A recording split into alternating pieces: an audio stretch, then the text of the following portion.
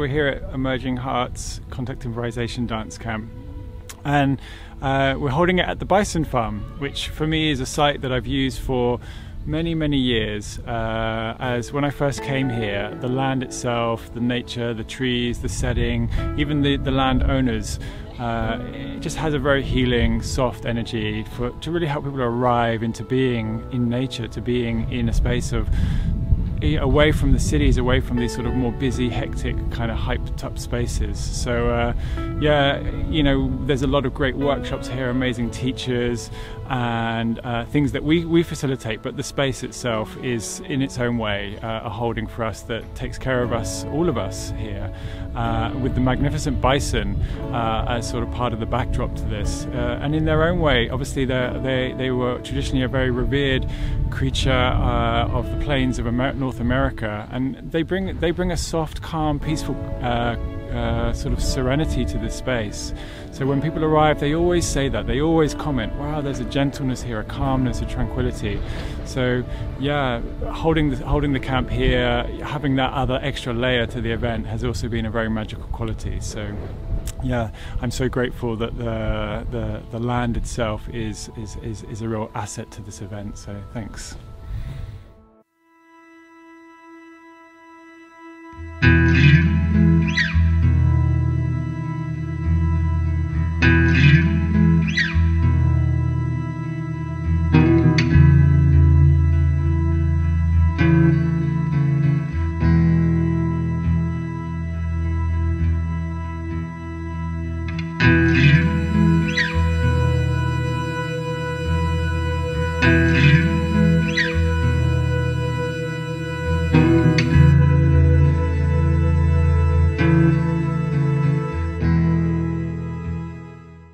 Almost seemed unimaginable a few weeks ago, after a year locked in flats, that we would be able to stand across a dance floor from someone and meet their eyes and breathe and sing and take in the trees together and find ways to feel safe together and to be held.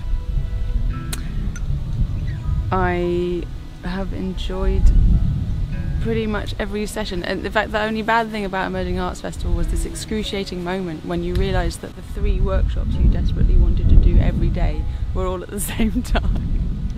and that is a real tribute to the uh, facilitation um, and the choosing of, of people.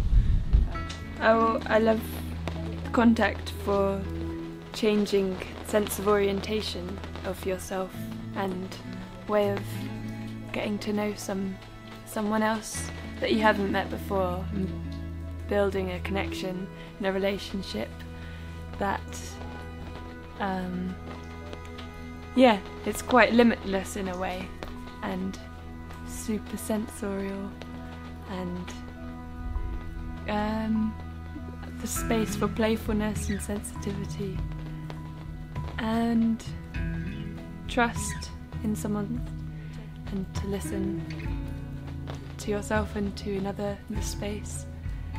Um, yeah.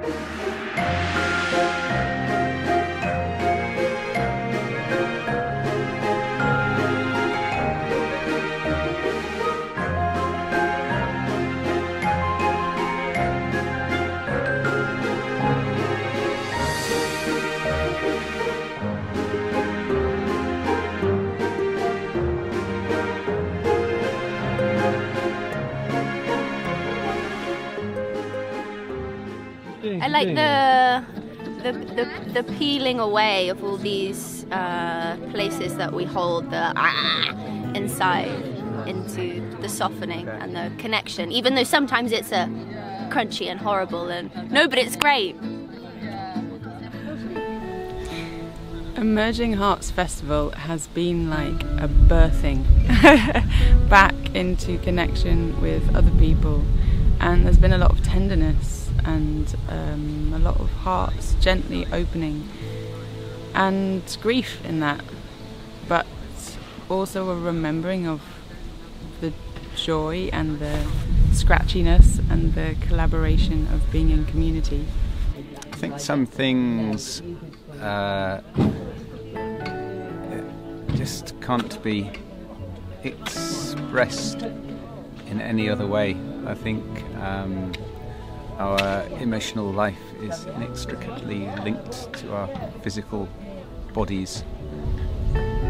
Dance makes me uh, leap, and dance makes me shake, and dance makes me roll around on the floor, and uh,